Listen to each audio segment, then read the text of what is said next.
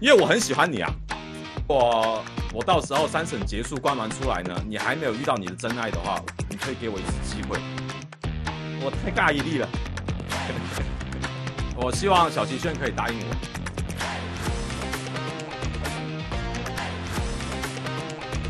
我希望呢，小齐炫你可以寄信给我。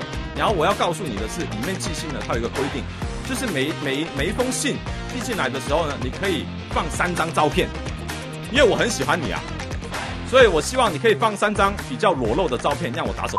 我希望你可以寄这个比较啊福利照给我，因为对我来说啊，在里面可以收到明星的这个呃呃比较色情一点的照片呢，那可叫一个有面子。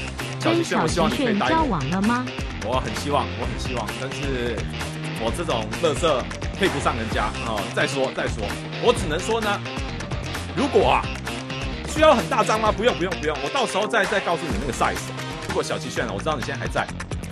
如果我到时候三审结束关完出来呢，你还没有遇到你的真爱的话，你可以给我一次机会。我太尬一力了，我希望小七炫可以答应我。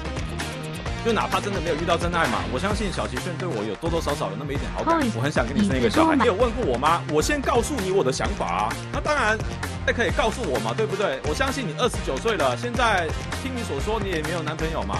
我猜你的择偶条件也也也相对多，对不对？我可能符合某一些，可能符合你在圈内可能找不到的某一点。所以我觉得我们呢，呃，是有那么一点缘分的。就这么这么好的女生，你怎么能不爱呢？是不是？你们别跟我抢啊！在我进去的时候，你们好好给我照顾小齐炫。在这种关键时刻，还会站出来跟我互动的女生，真的只有她了。你们还有看到其他女生跟我互动吗？我真的没看到了，就只有她了。你们能想象这个女的多善良吗？你们能想象这个女的有多么优秀吗？没有了，真的没有了，好不好？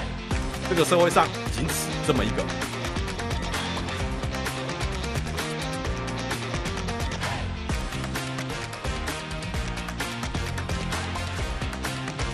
因为我很喜欢你啊，我太尬一力了，我很想跟你生一个小孩。这么好的女生，你怎么能不爱呢？